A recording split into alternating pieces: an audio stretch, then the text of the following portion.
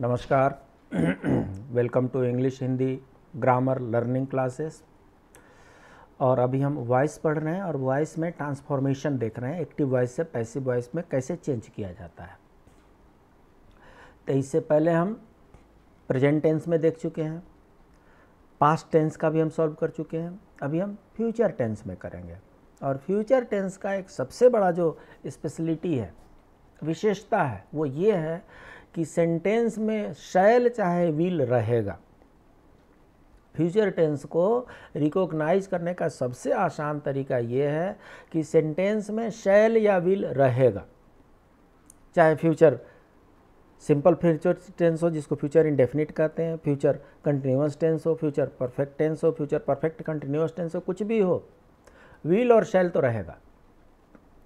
तो जब विल और शैल रहेगा तो इसके आगे हमें समझना है। तो जब हम टेंस समझते हैं तो टेंस में क्या करते हैं? फ्यूचर इंडेफिनिट टेंस में हम इसका जो स्ट्रक्चर होता है, वो सब्जेक्ट होता है। सब्जेक्ट के अनुसार विल चाहे शैल होगा वर्ब वन होगा ऑब्जेक्ट होगा। वर्ब का कोई फॉर्म इसमें याद करने की ज़रूरत नहीं पड़ती है। आपको याद तब करना है लर्न तब करना है, जब एक्टिव से पैसिव बदलना है। क्यों? क्योंकि पैसिव में जितने भी वर्ब होते हैं, वो थर्ड फॉर्म में ही होते हैं। फ़र्स्ट फॉर्म, सेकेंड फॉर्म नहीं होता। पैसिव वॉइस में थर्ड फॉर्म ही होगा। तो यहाँ पर एग्ज़ाम्पल दिया है I will visit my uncle tomorrow तो यहाँ पे आई के साथ विल लगा है। विज़िट जो है, फ़र्स्ट फॉर्म हो गया। यहाँ पर देखिए, जब हम ऑब्जेक्ट जब इसको हम पैसिव वॉइस में बनाएँगे तो पैसिव वॉइस में सबसे पहले सब्जेक्ट को ऑब्जेक्ट बना करके रख देंगे। सब्जेक्ट को ऑब्जेक्ट के जगह पे रखेंगे। फिर व्हील और शैल ऑब्जेक्ट के अनुसार होगा। प्लस बी लगेगा। इसमें नया चीज़ क्या लगा रहे हैं? बी, ई, बी लगा रहे हैं। वर्ब थर्ड होगा, बाई होगा और सब्जेक्ट का ऑब्जेक्ट हो जाएगा। Ram will eat the food. Passive voice क्या हो गया? The food will be eaten by Ram. So यहाँ पर बी जो है एक नया टर्मिनोलॉजी है। निगेटिव है तो विल के बाद नॉट आ जाएगा। और इंट्रोगेटिव है तो विल और शैल पहले आ जाएगा और नहीं तो डब्ल्यू एच वाले हैं, वो पहले आ जाएँगे। तो इस तरीके से फ्यूचर इंडेफिनिट टेंस में नया शब्द हम इंट्रोड्यूस कर रहे हैं बी विल और शैल तो पूरे फ्यूचर टेंस में रहेगा। तो ये रहा फ्यूचर इंडेफिनिट टेंस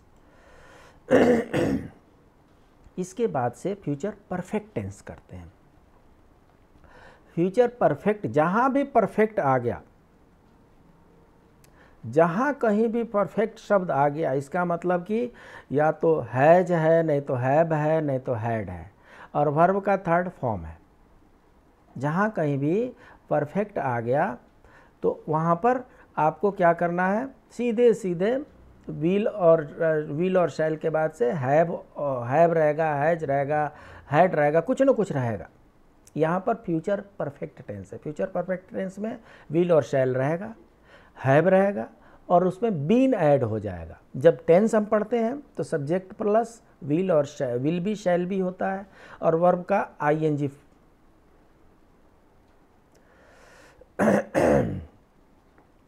ये थोड़ा सा यहाँ पर क्या है, ये फ्यूचर परफेक्ट टेंस है और यहाँ पर ये फ्यूचर कंटिन्यूस टेंस है। तो फ्यूचर कंटिन्यूस टेंस में आईएनजी होता है।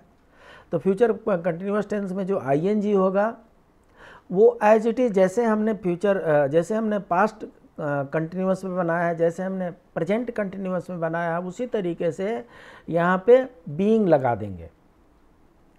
Is are am being done जो था वो प्रेजेंट टेंस में था। वाज वेयर बीइंग डन जो था वो पास्ट टेंस में था। Will be shall be shall be being done will be shall be done being done वो हो जाएगा वो फ्यूचर कंटिन्यूस टेंस में हो जाएगा फ्यूचर परफेक्ट टेंस में हैव है तो हैव के साथ बिन लग जाएगा। The food will have been eaten by Ram. थोड़ा सा बड़ा लग जाएगा, विल हो जाएगा, हैव हो जाएगा, बिन हो जाएगा, ये लगता है, बट ये फ्यूचर टेंस का यही इसका नेचर है। निगेटिव अगर होगा तो विल के बाद नोट लग जाएगा। इंट्रोगेटिव है तो जो एक्जुलरीज वर्ब है वो बाहर आ जाते हैं शायल विल अगर डब्ल्यू एच वाले हैं तो डब्ल्यू एच वाले बाहर आ जाते हैं। बाकी सेंटेंस एज इट इज़ रह जाता है। जो भी आपको इंट्रोगेटिव सेंटेंस जो दो तरह का होता है, एक तो एक्जुलरीज फॉर्म निकाल देते हैं, जिसमें विल यस और नो का आंसर होता है।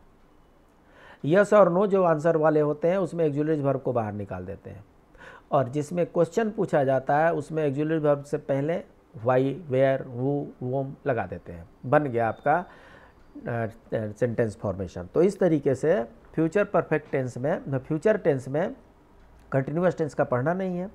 तो future indefinite tense, future continuous tense और फ्यूचर परफेक्ट टेंस। तो इस तरीके से तीन प्रेजेंट टेंस के, तीन पास्ट टेंस के और तीन फ्यूचर टेंस के।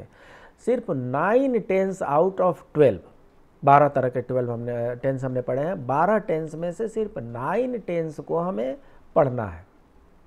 नाइन टेंस को सिर्फ़ कहीं कहीं पे जो उनके एक्जुअलिस वर्ब है, उसको चेंज करना है। कुछ ऐड करने वाला है, उसको ऐड करना है। बाकी मोस्टली सब्जेक्ट के जगह पे ऑब्जेक्ट ऑब्जेक्ट के जगह पे सब्जेक्ट हो गया। वर्ब का थर्ड फॉर्म हो गया और उसके बाद बाई हो गया। बस, ये जो ऑब्जेक्ट है, जो सब्जेक्ट बन चुका है सब्जेक्ट और वर्ब थर्ड के बीच में जितने एक्जुअलिस वर्ब है, यहीं पे जो चेंजेस करने होते हैं, वो करने होते हैं। बिल्कुल मुश्किल नहीं है, कोई कठिन नहीं है।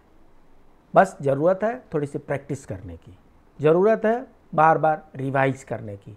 जब भी हम कोई नई चीज़ पढ़ते हैं, जब भी हम कोई नई चीज़ समझना चाहते हैं तो उसको बार बार रिवाइज करने से वो अपना हो जाता है। Practice makes a man perfect आपको भी परफेक्ट होना है। पूरे इंग्लिश ग्रामर में भी, हिंदी ग्रामर में भी परफेक्ट होना है। फिर मिलते हैं अगले क्लास में, तब तक के लिए नमस्कार।